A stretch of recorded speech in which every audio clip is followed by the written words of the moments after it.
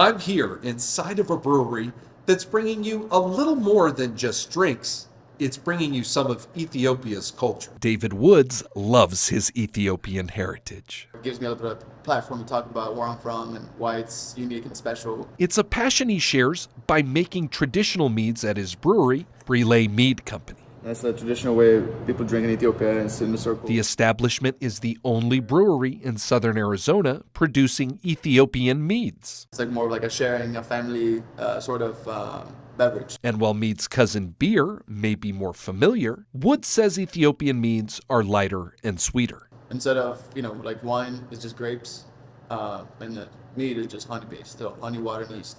The brewery shares a space with Mosaic Brewing. For more information, head to our website, kgun9.com. At Roger and Oracle, I'm Eddie Salaya, 9.